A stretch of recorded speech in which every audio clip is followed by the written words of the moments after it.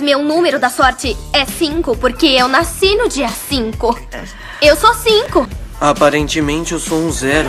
Então, a Mad nunca comemorou o aniversário na data certa? Que tipo de pais vocês são, afinal? Mad, querida, eu sinto muito. Sabe, a cada ano que o aniversário de vocês chegava, eu ficava tão empolgada.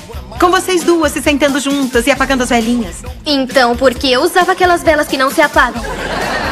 A Mad foi correr, mas temos um tempinho. Ela corre até o final da lista de músicas e eu pus mais seis. Oi, Joey! Tem um lugar pra você bem aqui. Eu só direi sim porque eu tô com medo de dizer não. Tá bem. Estão aqui porque são os melhores amigos e a família da Mad e quero que me ajudem a dar uma festa surpresa pra ela. Tem que manter segredo. Não será um problema pra vocês dois.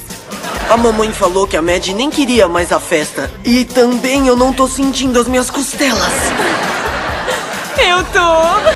A Mad disse que não queria uma festa, mas eu conheço bem minha irmã. Essa novidade tirou ela de campo, mas nós vamos arrumar isso. Isso é muito fofo. Vamos fazer de tudo pra ajudar. É claro que vão, são totalmente culpados por isso. Não voltem antes da meia-noite, porque só então o aniversário começa de verdade. Oh, meia-noite? Não é muito tarde pra uma festa? 16 anos mais tarde?